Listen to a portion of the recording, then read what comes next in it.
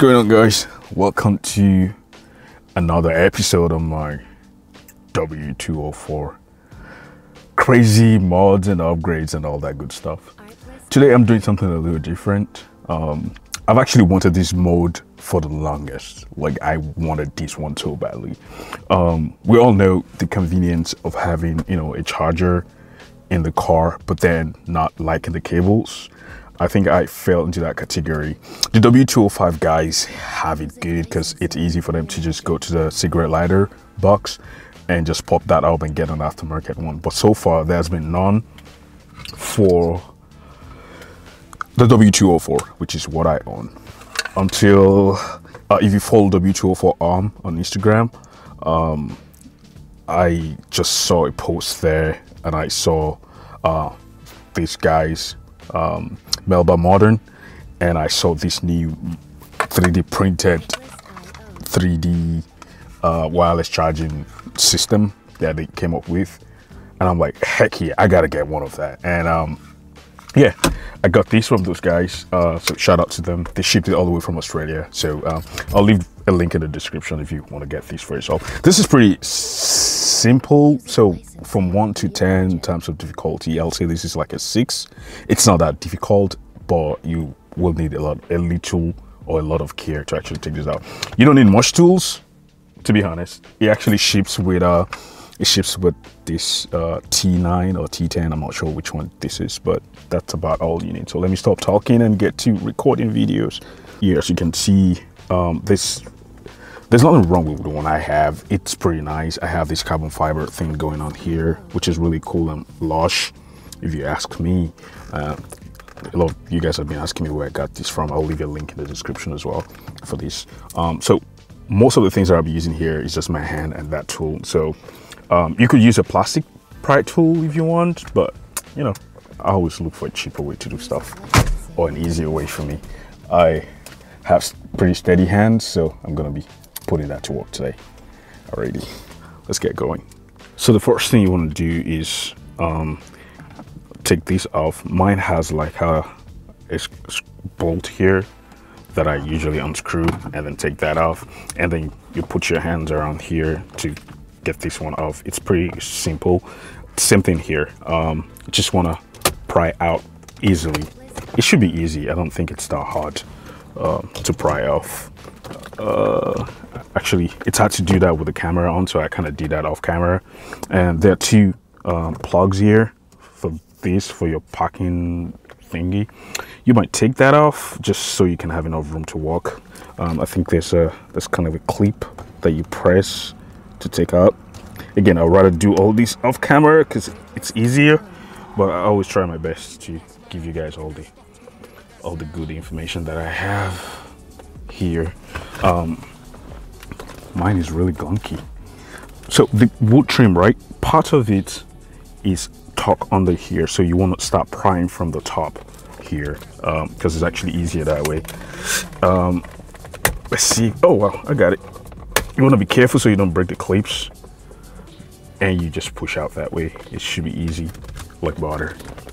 Um, and then this is the this is where it gets interesting because you have these two screws here that you got to take out and that's where the provided screwdriver comes in handy. And plug that in a little force for the first time and you should be good after that.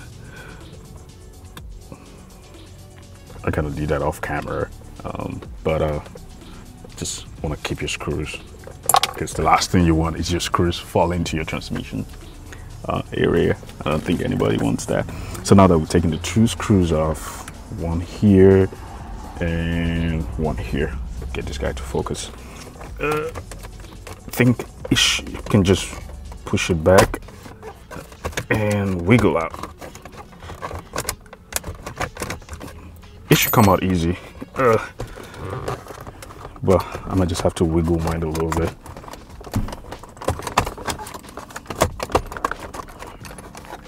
I might need two hands to do this, so I'm gonna have to I'm gonna have to set my camera aside for this one. yeah. Hello. So this right here is where the new the new system connects to. Uh, so you're gonna pry these out. I'm sure there's a clip somewhere to take that out. From here, again, it's hard to do these things with camera in one hand. Oh, I think I see the clips here. But let's just pry that out and take these out. Out with the old. Okay. Not bad. A little grimy and coffee stains everywhere, but it's not bad. So this is the new one and that should plug in. It's plug and play guys, so you don't have to. And the thing I like about this design, I'm sure it's gonna get better with time. Like this is homemade, like it's a solution. I like the idea and I believe it's gonna get better. Um, so if you see that USB there, USB-C there, so you can still charge with your cable if you want. You don't want to use the wireless one, which is kind of cool. I, I think it's brilliant. So you plug this in back in and you wiggle your way back. This is a little grimy, so I'm gonna wanna vacuum here a little bit. Yeah, if you ask me, I think this is brilliant. Um, it fits right in. You just gotta align it back to where the screws are or were before and fit that back in. Obviously, I'm not gonna screw it by hand, but uh, can I get you started? yeah, it, it, looks good already. I kind of like the, I like the flushness of it. Uh, you don't want to screw it too tight, so just in case you have to adjust this one more time not bad. And you just gotta reverse the old step like you did before. And you should be good to go. Now that I plug that in and screw that in, let's see, moment of truth. See that, look at that. See that charging sign? That's what you want to see. And that's brilliant. There you have it guys. Let me know in the comment section if it looks good to you guys. so yeah there you have it um so far this is an upgrade i'm happy with. Um i wish this is like carbon fiber so you can match my interior but overall i have zero complaints over these. It's a it's a good upgrade to add um, and that's one of the reasons I still have this car. It's like something keeps coming up and I like experimenting with new things. So yeah, I mean, if you're in the market to buy a car and you don't have a ton of money like some other people and you want a car you can upgrade, add new features to without breaking the bank, I, mean, I think this is a good car. I will still recommend this car. Um, I have a video coming up because I'm about to do something really crazy to the exterior of the car. So um, if you're not subscribed, you want to stay subscribed for that one.